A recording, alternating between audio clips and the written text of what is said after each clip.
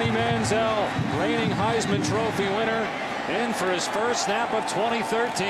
And it'll be a pass play. And Manziel takes off. There goes Johnny Football.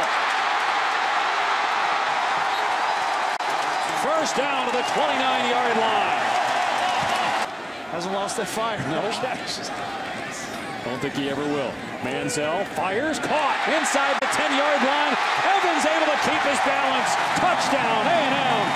Manziel's first of 2013. And Johnny Football is back.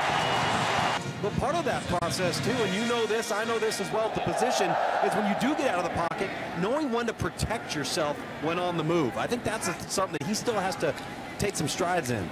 Manziel with a ton of time and throws a dart. Malcolm Kennedy is free. They finally get him down inside the 20 at the 17-yard line. That was a frozen road. So quickly, A&M from inside its 10 is now in the red zone. A dump off pass to Malena, able to keep his feet, and Malena heading for the end zone. Touchdown, A&M. Malena's at 82 yards rushing.